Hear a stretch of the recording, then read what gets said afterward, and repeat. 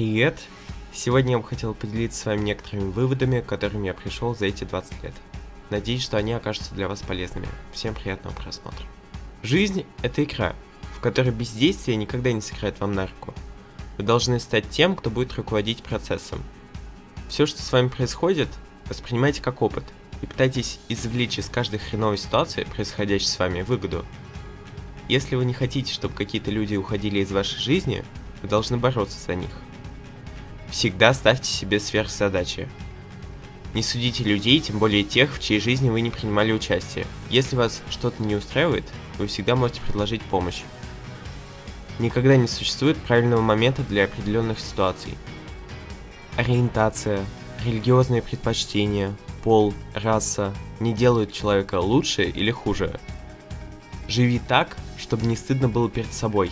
Изменять себе – пустая трата времени. Не отказывайтесь от возможностей.